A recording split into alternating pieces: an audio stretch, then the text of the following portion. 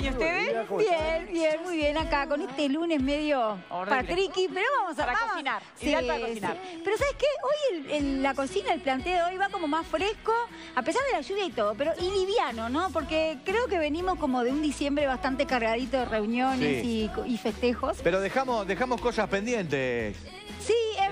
Que- bueno, ¿Te no quedó sé. el porteñi- ¿Te quedó el Me, tonito me- porteño me ahí? queda, me queda el italiano, El me queda, soy una La mezcla. mezcla. No. Coco, ¿Qué Coco pasó quiere con que el Seba, Seba? claro, que cuente este, ¿Qué le hicieron los compañeros? Sí. Claro que sí, mira, el viernes ya de Sí. tarde me fui acá todo huevado, harina, ya me fui con todo, el, el frenesí a todo lo que da. Marinera. Sí, sí, sí, totalmente. Entonces, ¿Y? de tarde me tiraron todo, me tiraron huevos, harina, tomate, yerba. Para mí los-. Para mí un contrato con una avícola porque no puedo creer la cantidad de huevos que tenían en ese Pero. Exactamente, ¿qué se recibió, Cevita? Exactamente. El nombre técnico es Profesional en Arte Culinario y Gestión Gastronómica. ¡Opa! Jean-Pierre. Puro nombre. ¿eh? Perfecto. Cuando terminás de decir todo eso, se te quemó lo que estabas haciendo. Para mí es Por eso digo me recibí de cocinero más rápido. Claro, cocinero más rápido. Claro. Pero lo llevaron a un lugar especial y todo para hacerle todo Ah, eso. ¿sí? No, pero Claro. es lo que le comentaba. Ah, pero porque- no hubo ningún corte de nada, el pelo ya te lo habías cortado vos, No, por bigote. suerte sí, el tema del bigote se puso sobre la mesa nuevamente, pero Ah. por suerte lo pude expulsar. Fueron, piadosos. Yo dije, traigo una falange antes que el bigote, no tengo problema. Perfecto. Bueno, ¿Qué tal con la falange? eh, bueno, en fin, Bueno, vamos, después de este momento, vamos a cocinar. sí, porque están nerviosas arriba, dale. sí. Dale que tienen Están hambre. buenísimas las recetas de hoy además. Y si no, miren, I'm feeling sexy and free. Like glitter's raining on me. vamos, eh, vamos con todo estas últimas semanas del mes de diciembre y del año, ¿eh? Y hoy comemos un poco más liviano, por eso te proponemos hacer una ensalada de lentejas, papa, de todo un poco, ¿eh? Ojo que la ensalada no tiene por qué ser ni aburrida ni para morirte de hambre. No, no. Y además preparamos un arroz florentina, que ahí lo están viendo, también con muchos vegetales y mucho color. Bien fáciles las dos recetas de hoy. Muy bien, tomen nota. Para la ensalada de lentejas del día de hoy van a necesitar una taza de lentejas que ya están cocidas, una cebollita colorada, un tomate, dos huevos duros, dos papas cocidas en cubos y una zanahoria, que lo vamos a hacer ahora con, con ustedes, y algunas hojas de lechuga. Y vamos a aderezar esta ensalada con una cucharada de queso crema, una cucharada de mayonesa light, un poquito de aceite de oliva, sal, pimienta y cibulet picado.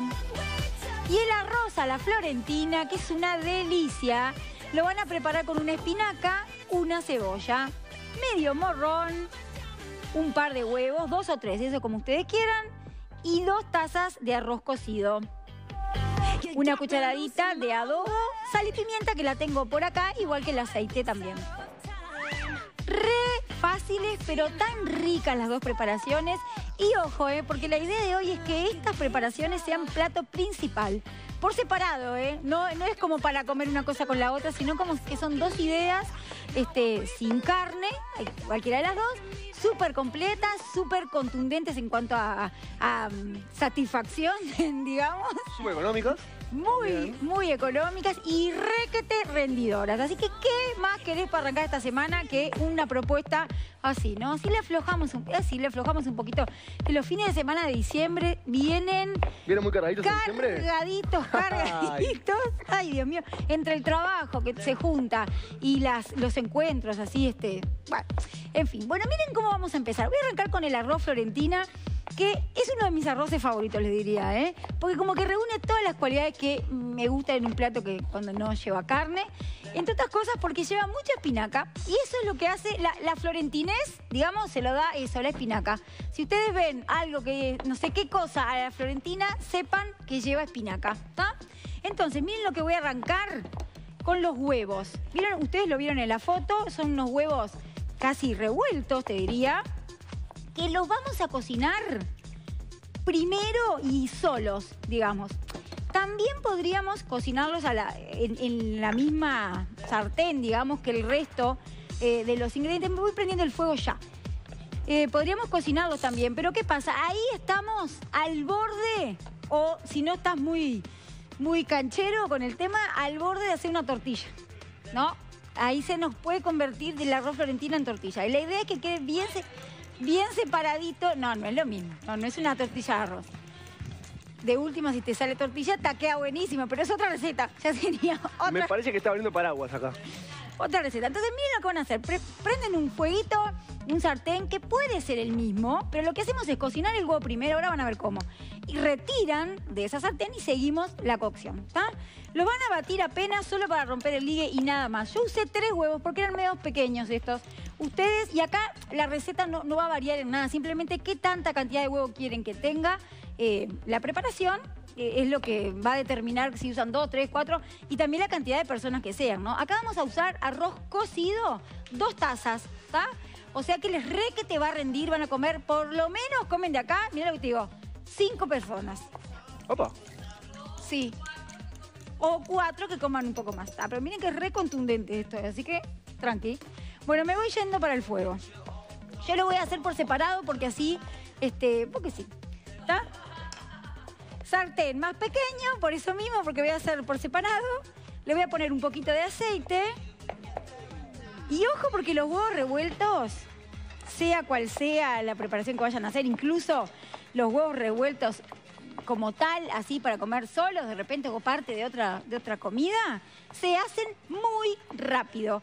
Y es una línea tan delgada la que separa un huevo revuelto rico, tierno, jugoso, a uno seco, acartonado y que es, es muy, muy delgada esa línea. Así que presten atención. Miren, primero caliento el sartén con un poquito de aceite. Ya tengo los huevos apenas batidos y tengo que controlar el fuego acá, ¿está?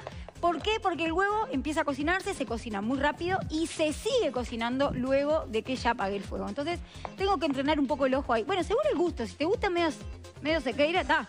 No importa, ¿no? Pero no creo que sea el caso. Acá a nadie le gustan los gustos. Entonces, miren. Fundamental para que esto no sea un omelette, que romper. Romper. Y ojo, miren cómo levanto, ¿eh? Levanto del, del fuego. Rápidamente. De los bordes traigo para adentro. Ya empieza a cuajar enseguida, ¿vieron? Y, antes de que esté del todo, del todo cocido, retiro, retiro del fuego. ¿Ven? Siempre moviendo, moviendo rápidamente, porque esto se va a seguir cocinando este, con el propio calor. Miren, ¿lo ven que todavía está como, como húmedo? Ya apago el fuego. ¿Cuánto demoró en hacerse? Nada, que 10, 15, 20 segundos. Nada. ¿Ven? Ya apagué el fuego y sigo removiendo para romperlo bien. Ahí está. Entonces, así es como vamos a reservar estos huevos que siempre están a tiempo de cocinarlos un poquito más. Si ven que les quedó demasiado babé, siempre están a tiempo de ponerlos, incluso incorporarlos a la sartén este, principal donde vamos a hacer el resto de la arroz florentina. Lo que para atrás nos vamos a volver. Entonces, siempre es preferible frenar un poquito antes, pero estos huevos así ya están cocidos, están perfectamente cocidos, pero están, se mantienen tiernos, se mantienen húmedos y no secos. ¿Listo? Así que los voy a dejar acá reservando unos segundos nada más, unos minutos. Así seguimos con el resto de la preparación. Tengo cebollita, tengo morrón, pero voy a ir con la espinaca primero, ¿eh? Bueno, el arroz cocido, ya lo vieron. También me lo voy aproximando. Vamos a cortar la espinaca. Una espinaca entera, o sea, es bastante cantidad, está buenísimo. Poder incorporar mucha verdura, pero cuando incorpores verdura, asegúrate que sea la mejor. Asegúrate que sea la mejor. Y ahí ya, ya sabemos a dónde tenemos que ir, ¿verdad? Me parece que no es tanta la de juicio, ¿no? No, eh, no, para nada. Para nada. Para nada, para nada. ¿De qué estoy hablando? De Miguel Gentile. Así que le- ya le quiero agradecer toda la, la ayuda y este, los mejores productos en cuanto a frutas y verduras que nos ha enviado durante todo el año. Y hoy no podría ser menos porque la verdad que vamos a usar un montón de, de vegetales. Y ustedes también pueden hacer su pedido porque es muy fácil, tan solo llamando al 2709-6752 Miguel les arma el pedido que ustedes quieran, se los envía a su casa y listo. Y, reciben todo en perfectas condiciones. Y si no, pasen por ahí, porque el local es precioso y se van a sorprender de las cosas que tiene. ¿eh? De verdad les digo. Eh, el local está en Avenida Brasil, casi, casi Subillaga. Ahí, en la, en, proita de Avenida Brasil. Así que bueno, vamos a mandarle un beso a Miguel y a todo su equipo que siempre nos está este, acompañando. Bueno, la espinaca la lavás, la escurrís bien sequita y la cortás como en juliana. Picadita, en realidad también podría ir picada, no, no tan en juliana, ¿eh? El tema es que yo ya tengo que tener todo listo acá para arrancar, porque la cocción es muy rápida, porque entre otras cosas el arroz, que es lo que más, es lo que más demora, lo vamos a incorporar a la mezcla ya cocido. ¿Tá? Así que le voy a hacer como otro cortecito así y ya me queda la espinaca perfectamente lista para utilizar. Muy bien. Bueno, ahora sí me traslado al sector eh, de fuegos, porque ahora sí ya em- arranco y no, no me muevo más de acá, ¿eh? Acá, sartén. Sartén o cacerola amplia. eh, con un poco de altura. Un poco de altura porque vamos a incorporar mucha cosa. Pero importante, un wok perfectamente, sí. Eh, o una cacerola también que sea un poquito amplia. O un sartén como este que sea altito. ¿Estamos? Entonces, vamos a arrancar como siempre, cebollita y morrón, bien picadito, se va acá ya dejo pronto. Un poco de aceite, que después voy a volver a agregar un poquito más de aceite, ¿eh? Estos huevos, estos huevos no, este arroz es, es como, tiene que quedar como un poco húmedo, tiene que quedar como un poco aceitoso. No, no, el arroz al dente, este arroz lo cocinan como siempre, como estés acostumbrado vos a hacerlo. Si lo haces en la cacerola 8 minutos, el arroz común, puede ser arroz integral también, ¿eh? Si no, yo lo cocino al microondas, ya se los he contado muchas veces. Me queda como más práctico, no sé, es lo mismo y incluso a veces hasta me lleva un poco más de tiempo, pero me queda más práctico igual. Siempre me queda bien, nunca se me pasa.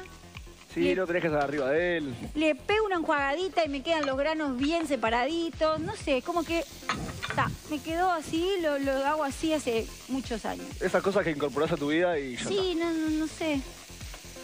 Como que siento que se hace solo. En el microondas como que se hace Exactamente. solo. Porque muchas veces hay, hay ciertas operaciones que tienen eso. No tenés que estar todo el tiempo haciendo cosas, pero tenés No, que no, estar vigilándolo. Claro, nada, O acá- que no se me, no se me desborde, no Por suela eso, agua. ¿quieren que les cuente cómo se hace en el microondas? Por las dudas. y- Bueno, ponen eh, una taza en un bowl que sea apto para micro y que sea medio amplio, ¿no? Ponen una taza, ponele de, arroz y dos, y dos veces, o sea, una parte de arroz dos y dos partes de agua de a temperatura ambiente, un poquito de sal, si es que usan sal, si no, nada. Y van al microondas, al- una, una primera cocción que les va a llevar unos 8 minutos más o menos. Tienen que mezclar un poco. Depende del micro en realidad, por eso lo del tiempo es medio relativo, pero vayan, prueben la primera vez con... En mi microondas son 8, ¿está? 8 minutos de una, revuelvo, saco y vuelvo de vuelta al microondas, unos 6, 7 minutos más. Pero depende del micro, sí, depende del microondas.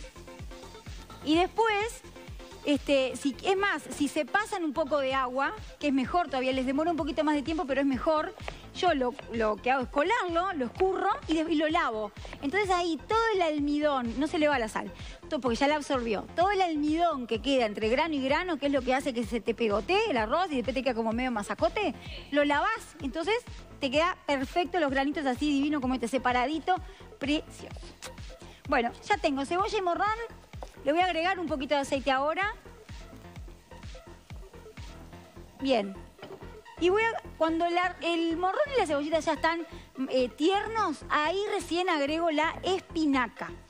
Y pero tiene que ser cuando esto ya está pronto, porque ahora cuando sume todo, este, ya va a estar listo. O sea, el arroz ya está pronto, solamente darle una entibiada con, con el resto de los ingredientes y el huevo, para que se mantenga justamente con este color así amarillo, que no quede amarronado, este, ni nada, lo agregamos también a último momento.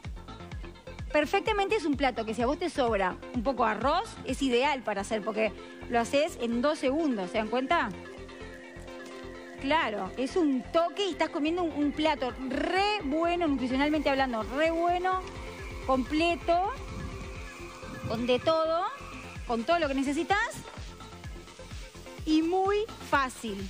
Por supuesto que también puede ser acompañamiento, lo que pasa que ahí ya la porción reduce, ¿no?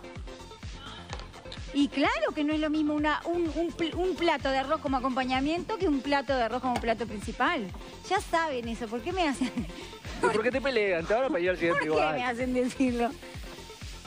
Bueno, ojo que la espinaca es rápida, ¿eh? Me hace acordar a, a tu vecina. Qué fuerte. Qué fuerte declaraciones, No, Catalina, porque por siempre favor. me cuenta, él siempre me cuenta. No dije quién, no dije quién, así No que... importa, no importa. Bueno, sigamos como que si nada me hubiera pasado. Bueno, eh, el arroz que ya está cocido con sal hace que no necesite agregarle más sal a esto. Si quieren, pues, pero pimienta sí le voy a poner un poquito. Un poquito de pimienta. Nada más, poquita. Poquita pimienta porque le voy a dar un poco de picor con un poco de adobo. Bien picantón. Bueno, y ahora sí, ¿eh? ya estoy pronta. Agrego el arroz, mezclo y listo.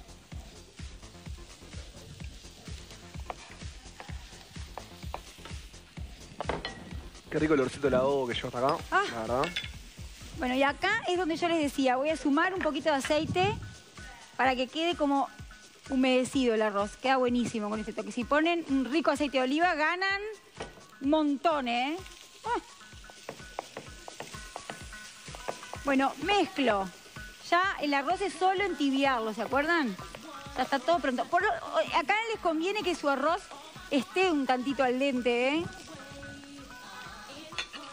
No demasiado pasado. Ahí está. Apago el fuego, apagué el fuego y ahora sí sumo el huevo cocido. Si quieren, no quieren usar yemas, si quieren usar solo claras, usen solo claras. Ahí está. Esta es como la receta así eh, base. Todo después lo que le quieran sumar, le pueden sumar también, ¿no? ¿Sabés qué le quedaría espectacular?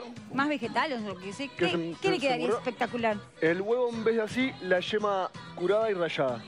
Curada y raya. ¿Y las claras qué hago? Y la clara, bueno, hoy, hoy la sacamos. ¿Eh?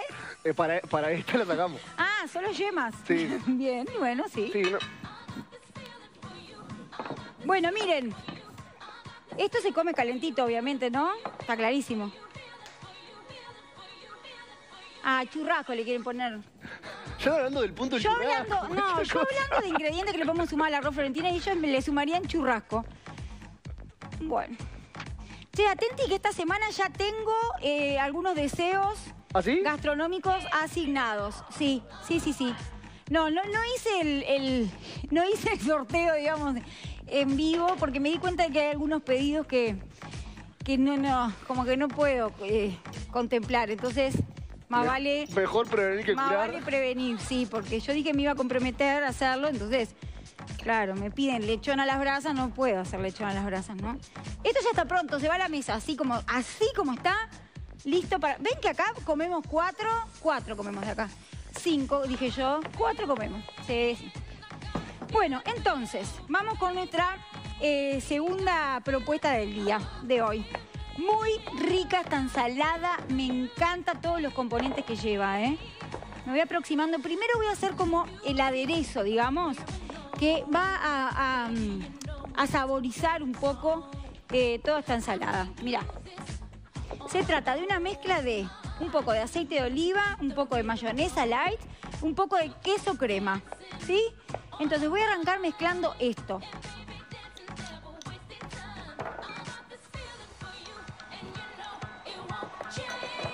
A ver, acá en realidad la- las proporciones yo se las dejo ahí, ustedes agrandan o achican según lo que, lo que, lo que necesiten, ¿verdad? Eso está, está clarísimo. Un poco de pimienta. No voy a usar sal acá. Sí voy a usar cibulet, que se vaya lo vi ahí que, que agarró para, para picar chiquito. Voy a sumar un poquito de aceite de oliva, sí, ahora sí. Un chorro nada más, sí. Esto es muy rico, chiquilines, ¿eh? para las ensaladas. Un chorrito nada más. ¿Y saben con qué voy a aligerar esta, salsita, este aderezo? Con agua. Pueden usar jugo de limón también si quieren, ¿eh? Yo voy a ir echando de a chorritos de agua, agua natural nada más. Bien de a poquito tiene que ser, ¿eh? Porque toda este, este, esta mezcla grasa, o sea, entre el queso y la mayonesa, si no después va a ser súper difícil de integrar. Pero el tema acá es darle un poco para que corra un poquito más. Apenas, ¿eh? serán, no sé, dos cucharadas o tres, depende de la, de la cantidad que necesiten hacer de, de aderezo. Ahí está, yo creo que ahí está bien. Miren, más o menos es esto. Lo que necesitan es que, que quede, que fluya.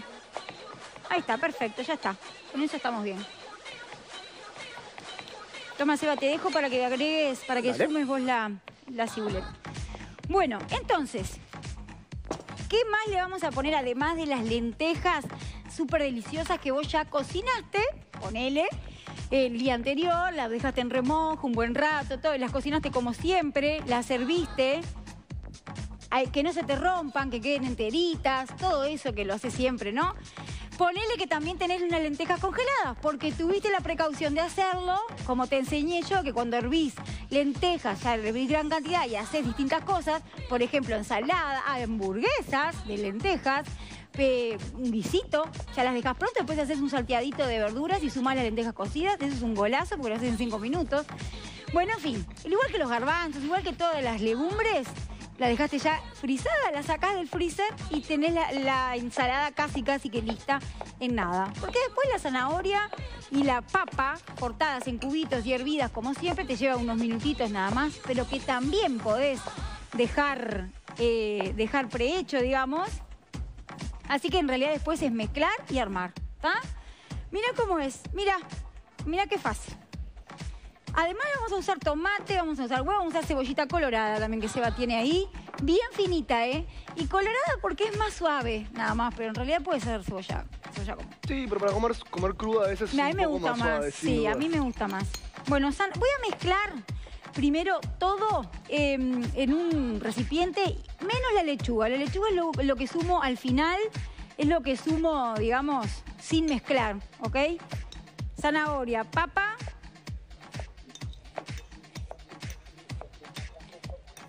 Zanahoria, papas en cubitos. Tomate, también en cubos. Seba, ¿sabes qué te voy a pedir? Dime. Una como estas. Una, Dale. sí, vamos a servir ahí. Tomates también en cubos. Huevo duro picado o rallado. Muchas gracias. Venga, Ahí está. Cebolla, bien finita, córtenla, ¿eh? O pueden picarla si quieren también, o sea, tipo Brunois en vez de que, en vez de Juliana. Pero que tenga distintas formas. A mí me gusta que, las verduras no estén todas, todas iguales, me parece que también es de... ¿Ven? Por eso mezclamos primero esto. Y las lentejas, ¿no? Que en definitiva son las vedettes de la ensalada. Son, quienes te dejan usar carne. Ponele que no te dio el tiempo de cocinarlas. Ponele que no dejaste frisadas. Ponele, yo qué sé. Todo eso, bueno, ahí recurrís al frasco. Exacto. Siempre lo decimos. Por supuesto que se pueden usar, no tiene nada de malo. Se pueden usar las, legumbres que ya vienen, eh, digamos, en- enfrascadas. Siempre como que el orden de prioridad que te aconsejamos es las naturales, las que vos servís en tu casa, el frasco de vidrio y después las latas. Y vos te manejás. Ahí siempre también eh, está claro que es, es una solución a veces tener en la alacena un frasco de este tipo de cosas para, por ejemplo, una ensalada como la de hoy que te sale después en dos segundos. Siempre que tener ¿viste? esas cosas que aparte duran un montón. Una vez que las tenés, o sea, sin Claro. abrir, te duran un montón de tiempo.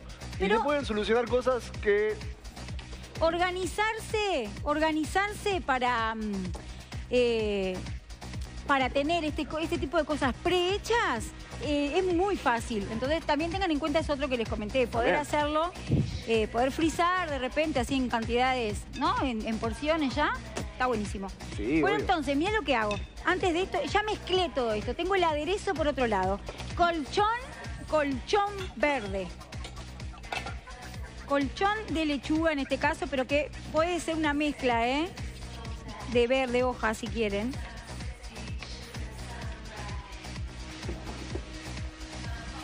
Grande, la voy a dejar grande y abundante, porque así después cuando sirva con todo, agarramos verde, ¿eh? Si ustedes quieren mezclarlo, también podría ser, ¿eh? O sea, mezclar con el resto. Lo que pasa es que ahí la hoja se me va como a perder un poco y se me va a humedecer mucho. De esta forma yo agrego el aderezo sobre, sobre todo el, el resto. Ahí está. Esta es crespa además, así que parece como más, Sí. más cantidad. Ahí está, listo, ahora sí. Además tengo que usar como un poquito de, de plato para después cuando quiera servir. Y claro, y, col- y color. Me da como lo que falta verde acá en, en- en la mezcla. Me lo da el colchón de lechuga. Y el ahora verde nunca puede faltar. Y no. Y ahora voy sobre el colchón. Mirá todo lo que hicimos, mirá la cantidad, me va a hacer, me va a dar para hacer dos. Miren todo lo que me queda acá, para hacer otra fuente como esta. ¿Vieron? Re que te rendidora, dos papas, una zanahoria, un par de huevos nada más. Esto tiene todo lo que necesitas, también, exactamente. Sí, sin duda.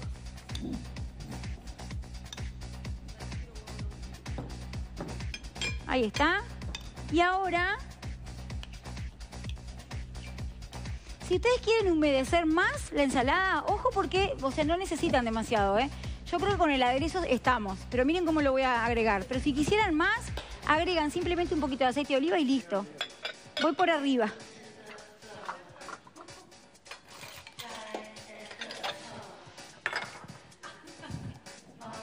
Ahí está. Ay, no se les hace agua a la boca, miren esto lo que es. Mira cómo estoy yo, ¿Verdad que sí? Ah, ya con el tenedor en mano. qué rico. ¿Ya está, ya está listo?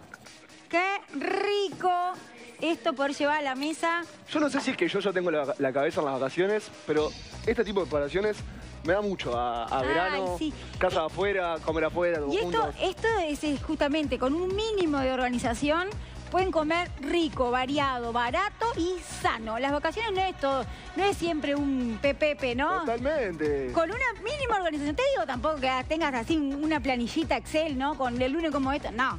Pero organizándote un poco vas a ver cómo comes rico, variado, que son las bases de la alimentación, chiquilines, la base de la alimentación saludable, rico, variado, sano, todo fácil, este, así que bueno, no.